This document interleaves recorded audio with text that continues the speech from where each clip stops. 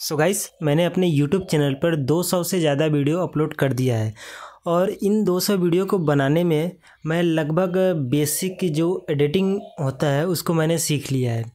और मैं बहुत पहले से ही सोच रखा था कि अब मुझे वीडियो एडिटिंग में ही कैरियर बनाना है।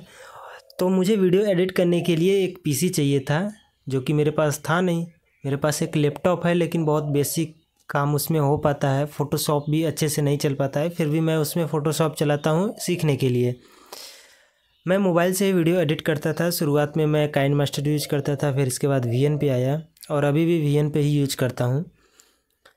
और मुझे लगता था कि एक अच्छा वीडियो एडिट करने के लिए पीसी पर ही एडिट किया जा सकता है, लेकिन कुछ दिन पहले मेरे शॉर्ट फ़ीड में, सॉरी, जो होम फ़ीड होता है यूट्यूब का, उसमें ऐसे ऐसे रिकमेंडेशन में वीडियो आ रहे हैं, जो कि मोबाइल से एडिट किए हुए हैं। और वह कैपकट नाम का एक एप्लीकेशन है, जो कि वीडियो एडिटिंग एप्लीकेशन है उससे ही एडिट किया गया है। तो फिर मैंने उसके बारे में देखा, जाना, फिर मुझे बाद में पता चला कि कैपकट एप्लीकेशन से भी इतना तगड़ा एडिटिंग किया जा सकता है, वो भी मोबाइल फ़ोन पे। फिर मैंने सोचा कि जो अपना वीडियो एडिटिंग की जर्नी है, इसे पॉज ना करके इसे कंटिन्यू करते हैं।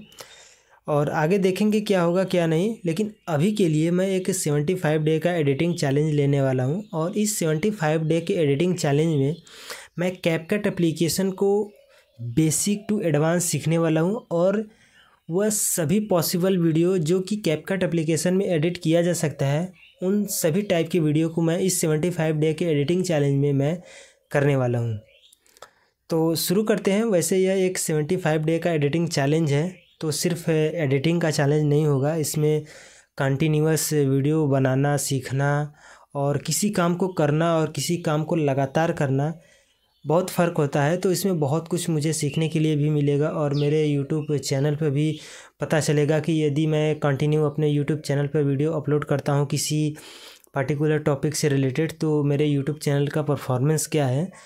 तो इससे मेरे यूट्यूब चैनल को भी फ़ायदा होगा, मुझे भी फ़ायदा होगा और आप लोगों को भी फ़ायदा होगा कि कोई इंसान अगर सेवेंटी फाइव डेज़ का एडिटिंग चैलेंज लेता है तो उसमें क्या क्या सीखता है और इस एडिटिंग चैलेंज में लेने के बाद मैं कैपकट एप्लीकेशन का यूज़ करके ही पैसे भी कमाने वाला हूँ। अब कितना कमाऊँगा, कितना नहीं कमाऊँगा, वो तो सेवेंटी फाइव डे के एडिटिंग चैलेंज के बाद ही पता चलेगा। लेकिन मैं सेवेंटी फाइव डे के जो एडिटिंग चैलेंज है, इसको लेने के बाद, इसमें सब कुछ सीखूँगा और सब कुछ सीखने के बाद, इसमें पैसे मैं कमाने का कोशिश करूँगा। तो आज यह एक छोटा सा एक इंट्रो था। कल से डे वन का वीडियो आएगा और उसमें देखेंगे क्या है। पहले तो मुझे सीखना होगा कि कैपकट एप्लीकेशन को यूज़ करते समय क्या क्या प्रॉब्लम हो सकता है। उसको मैं यूट्यूब पर गूगल पे, जहाँ पर भी रिसर्च करना होगा यूज़ करूँगा। क्योंकि यदि मैं किसी ऐसे प्रोजेक्ट पर काम कर रहा हूँ और बीच में ऐसा लैग आ गया बग आ गया कि मेरा प्रोजेक्ट ख़राब ना हो जाए तो उन सभी चीज़ के बारे में मैं अच्छे से रिसर्च करूँगा और कहाँ से डाउनलोड करना है, कैसे डाउनलोड करना है, सब कुछ मैं सीखने वाला हूँ। और इसके बाद फिर आपके साथ शेयर करूँगा। तो यह एक छोटा सा इंट्रोडक्शन था और आप भी यदि ये सेवेंटी फाइव डेज़ का एडिटिंग चैलेंज लेना चाहते हैं तो आप भी अपने चैनल पे कंटिन्यूस कर सकते हैं और डेफिनेटली मैं कहता हूँ फ़ायदा होगा। क्योंकि मैंने बहुत सारे ऐसे चैनल देखे हैं जो कि सेवेंटी फाइव डेज़ का एडिटिंग चैलेंज लेते हैं और कोई अपने वीडियो अपलोड करने का चैलेंज लेता है और उनको डेफिनेटली फ़ायदा हुआ है। तो आप भी इस तरीके का एडिटिंग चैलेंज लीजिए या फिर आप अपने निस के अकॉर्डिंग चैलेंज लीजिए डेफिनेटली फ़ायदा होगा।